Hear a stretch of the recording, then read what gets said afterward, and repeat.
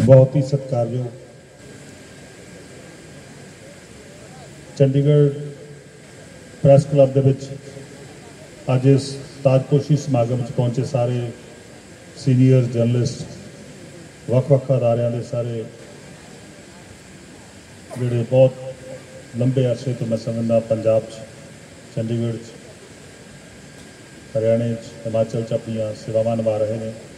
ਸਾਰਿਆਂ ਨੂੰ ਨਮਸਕਾਰ, ਆਦਾਬ। ਸਤਿ ਸ੍ਰੀ ਅਕਾਲ। ਸਭ ਤੋਂ ਪਹਿਲਾਂ ਮੈਂ ਨਲਿਨ ਆਚਾਰੀਆ ਜੀ ਨੂੰ, ਉਹਨਾਂ ਦੀ ਸਮੁੱਚੀ ਟੀਮ ਨੂੰ, ਜਿਹੜੀ ਹੁਣੇ ਮੈਂ ਸਮਝਦਾ ਤੁਹਾਡੇ ਸਾਰਿਆਂ ਦੇ ਸਹਿਯੋਗ ਦੇ ਨਾਲ ਜਿੱਤ ਕੇ ਪ੍ਰੈਸ ਕਲੱਬ ਜਿਨ੍ਹਾਂ ਨੇ ਪ੍ਰਧਾਨਗੀ ਲਈ ਆ ਬਹੁਤ ਬਹੁਤ ਉਹਨਾਂ ਨੂੰ ਮੇਰੇ ਵੱਲੋਂ ਮੁਬਾਰਕਬਾਦ ਬਹੁਤ ਬਹੁਤ ਮੁਬਾਰਕਾਂ। ਅੱਜ ਸਾਡੇ ਇਸ, ਤੁਹਾਡੇ ਇਸ ਸਮਾਗਮ ਦੇ ਵਿੱਚ ਕੇਵਲ ਪਠਾਨੀਆ ਜੀ ਜਿਹੜੇ ਕਿ ਕਾਂਗੜੇ ਤੋਂ ਬਤੌਰ ਵਿਧਾਇਕ ਸਪੈਸ਼ਲੀ ਪਹੁੰਚੇ ਨੇ।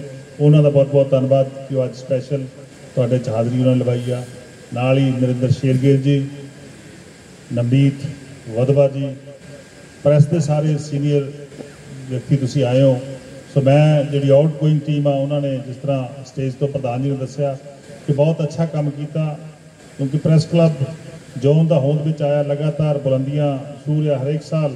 ਮੈਂ ਸਮਝਦਾ ਲਗਾਤਾਰ ਉਹਦੇ ਵਿੱਚ ਮੈਂਬਰਾਂ 'ਚ ਵੀ ਵਾਧਾ ਹੁੰਦਾਗਾ ਔਰ ਕੰਮਾਂ ਕਾਰਾਂ ਦੇ ਵਿੱਚ ਵੀ ਵਾਧਾ ਹੁੰਦਾਗਾ।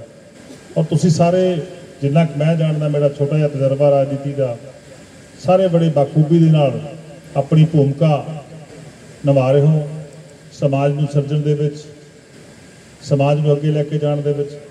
ਸਾਰੇ ਤੁਸੀਂ ਆਪਣੀ ਕਲਮ ਦੇ ਰਾਹੀਂ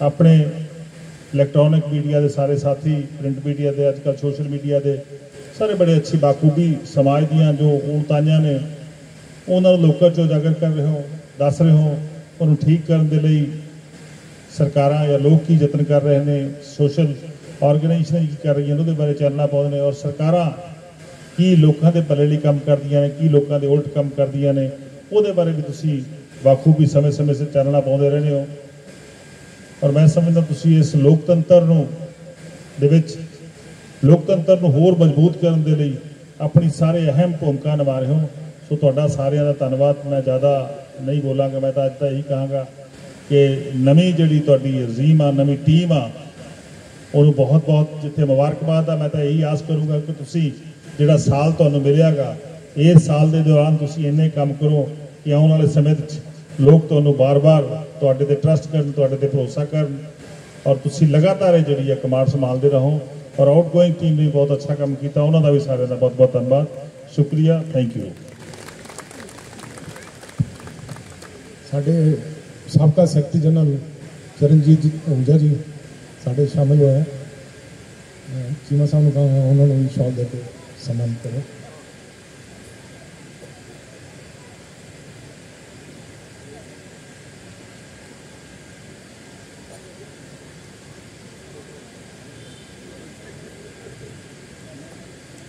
दो शब्द पठानिया साहब।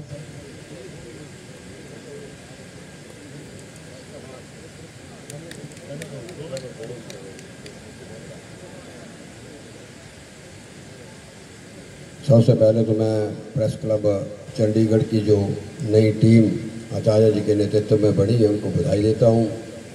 हमारे भाई समान बड़े आदमी हरपाल सिंह चीमा जी जेडे पंजाब के साढ़े वित्त मंत्री ने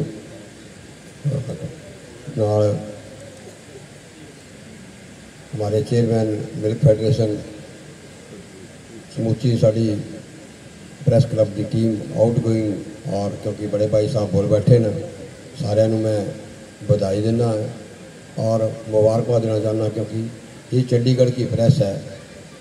और, आचार्य जी अध्यक्ष बने हैं। चंडीगढ़ की, हिमाचल की हवा, आज आप ठंड देख रहे हो ना? पिछले दो दिनों से जो है खूब बारिश, इतनी बारिश हो रही है तो हिमाचल और चंडीगढ़ का सीमा साहब लंबे समय से हमारा रिश्ता रहा है। आज मैं जिस तरीके से पंजाब की सरकार और देश के अंदर, और सबसे बड़ा जो आपका चंडीगढ़ से ही मैं कहता हूँ हिमाचल प्रदेश जो जो सीखा है, हिमाचल प्रदेश बना, मैं चाहता हूँ चंडीगढ़ की प्रेस का भी सभी बड़े भाइयों का आशीर्वाद जिस तरीके से पहले बना रहे आगे भी बना रहे सबको बड़ी बड़ी मुबारक धन्यवाद मैं ना